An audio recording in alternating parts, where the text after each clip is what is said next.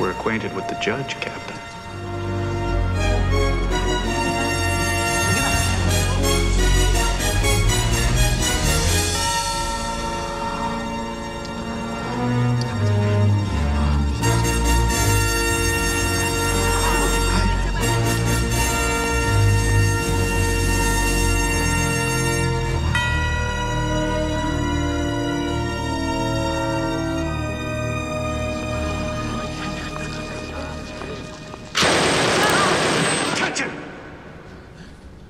On your feet! Attention!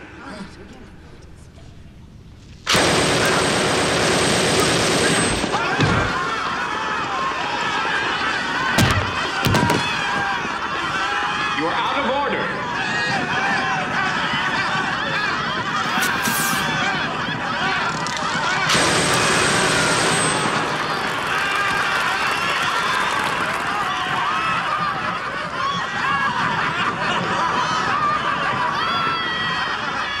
The prisoners will not be harmed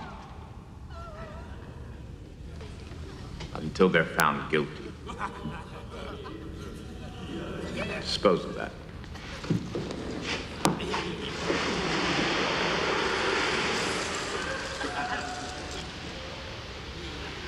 Can we assume you mean this will be a fair trial?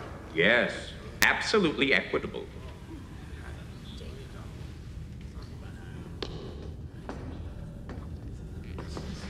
Before this gracious court, now appear these prisoners to answer for the multiple and grievous savageries of the species. How plead you, criminal? If I may, Captain? Objection, Your Honor.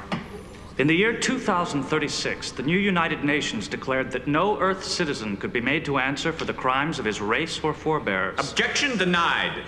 This is a court of the year 2079, by which time more rapid progress had caused all United Earth nonsense to be abolished. Tasha, no! I must, because I grew up in a world that allowed things like this court. And it was people like these that saved me from it.